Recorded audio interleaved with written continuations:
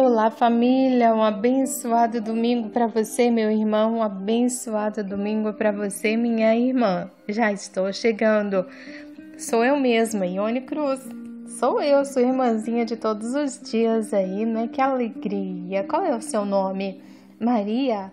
Aparecida? José? Paulo? Roberto? Eu não sei o seu nome mas você é meu irmão e minha irmã, vocês são meus irmãos, irmãos na fé.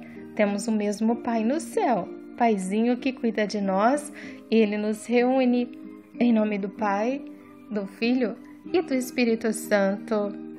Amém. Aonde você está por este Brasil afora? Norte, sul, leste, oeste, centro do Brasil? Ou Além Brasil. Já acolho você que reza comigo pelo Evangelizar Nossa Missão no Facebook, você que recebe aí por outras páginas o áudio, grupos no Face, você que reza comigo pelo WhatsApp, Telegram. Acolho carinhosamente os, os ouvintes aí da Rádio Vida Nova FM de Americana no interior de São Paulo, que rezam comigo no domingo de manhã, né, às 7h50. E já quero convidar você, aonde você estiver, já pedindo o Espírito Santo sobre o seu coração.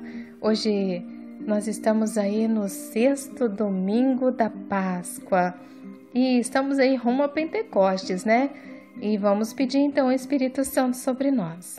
Vem, Espírito Santo, vinde sobre todos nós, vinde por meio da poderosa intercessão do Imaculado Coração de Maria vossa amadíssima esposa.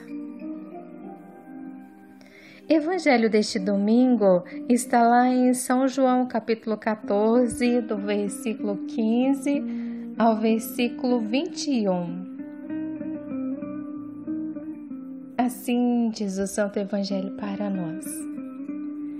Se vocês me amam, obedecerão os meus mandamentos então eu pedirei ao Pai e ele dará a vocês outro advogado para que permaneça com vocês para sempre. Ele é o Espírito da Verdade que o mundo não pode acolher, porque não o vê nem o conhece. Vocês o conhecem, porque ele mora com vocês e estará com vocês. Eu não deixarei vocês órfãos, mas voltarei para vocês. Mais um pouco e o mundo não me verá, mas vocês me verão, porque eu vivo e também vocês viverão. Nesse dia vocês conhecerão que eu estou em meu Pai, vocês em mim e eu em vocês. Quem aceita os meus mandamentos e a eles obedece, esse é quem me ama. E quem me ama será amado por meu Pai, eu também o amarei e manifestarei a Ele. Palavra da salvação, glória a vós, Senhor. Bendito seja Deus, bendita a palavra. O Espírito Santo, ele continua a obra de Jesus. Jesus ele diz assim: eu pedirei ao Pai e Ele dará a vocês outro advogado para que permaneçam com vocês para sempre. Advogado, advogado é alguém que defende uma causa. E Jesus, ele envia o Espírito Santo como advogado, como nosso advogado, meu irmão.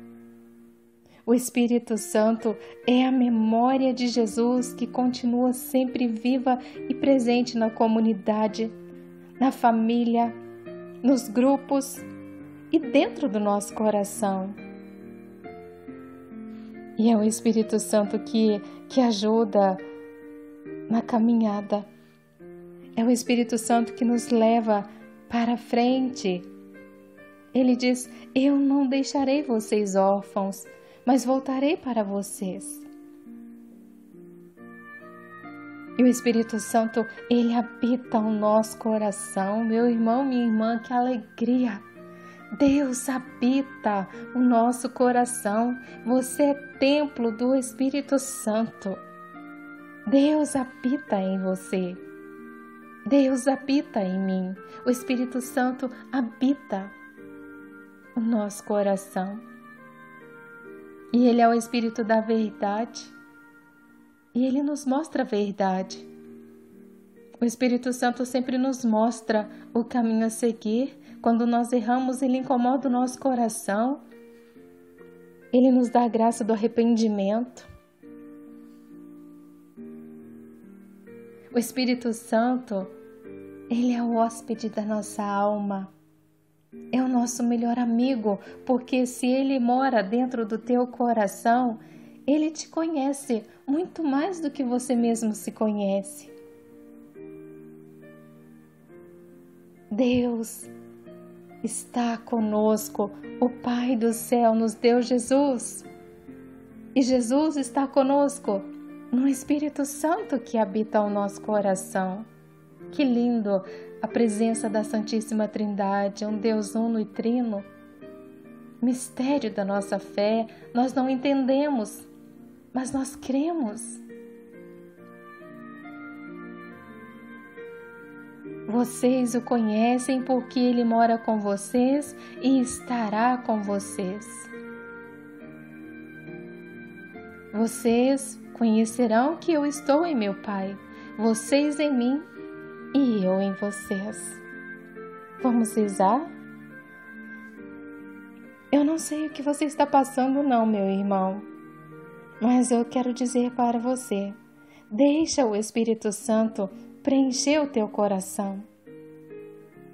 O Espírito Santo tem muitos dons, muitos frutos para nós e nós esquecemos de pedir.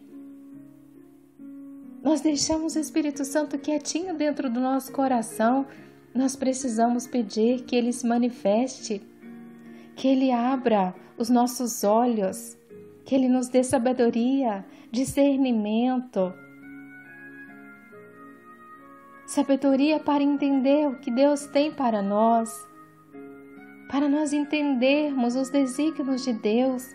O Espírito Santo revela. Por isso, peça lá na sua comunidade, no seu grupo de oração, na sua pastoral. Peça ao Espírito Santo. Se você está vendo que está acontecendo alguma desavença, discórdia, peça ao Espírito Santo sobre os teus irmãos de comunidade, de pastoral. Peça pelo teu sacerdote, peça pelos da tua família, Espírito Santo. Tu conheces tudo. Toca os da minha casa, toca-os da minha comunidade. Enche o coração de cada um, de cada um de amor. E o Espírito Santo ele leva a comunidade a discernir os acontecimentos para continuar o processo de libertação. E Deus ele quer cada um de nós livres. O mal ele não tem poder sobre nós. Nós precisamos tomar posse disso mesmo que muitas vezes somos atacados, movidos pelo Espírito Santo, nós vencemos todo o mal. O Espírito Santo nos leva à oração. O Espírito Santo nos impulsiona à reconciliação. O Espírito Santo nos leva para a comunidade, nos leva para o seio da nossa família, o Espírito Santo nos leva onde Deus quer, porque Ele é o próprio Deus que habita em nós e Ele sabe do que você necessita. Por isso, o Espírito Santo vai tocando a cada irmão e irmã que neste domingo está rezando comigo, Senhor. Eu não sei o que cada um necessita, mas Espírito Santo, tu conheces porque habita o coração de cada irmão e irmã que está rezando. Os doentes, os que choram, os que sofrem, os que estão alegres, aquele Senhor que não tem mais ânimo para viver, tu conheces, reanima, Senhor, cada irmão e irmã hoje, reanima na fé.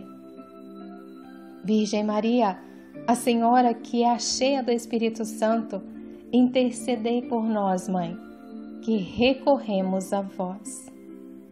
Ave Maria, cheia de graça, o Senhor é convosco. Bendita sois vós entre as mulheres, e bendito é o fruto do vosso ventre, Jesus. Santa Maria, Mãe de Deus, rogai por nós, pecadores, agora e na hora de nossa morte. Amém. E eu desejo para você um abençoado domingo, né? E vamos buscar o próprio Deus. Quando ali na missa, no altar, o sacerdote levanta a hóstia santa, o Espírito Santo ali realiza um milagre e aquela simples hóstia se transforma no corpo, sangue, alma e divindade do Senhor para nos alimentar. Então vamos buscá-lo? Ele é a nossa vida, a nossa força, é aquele que nos anima para a caminhada diária. Um feliz domingo para você, um beijo no seu coração da sua irmã Ione Cruz e até amanhã, se Deus quiser. Tchau, tchau.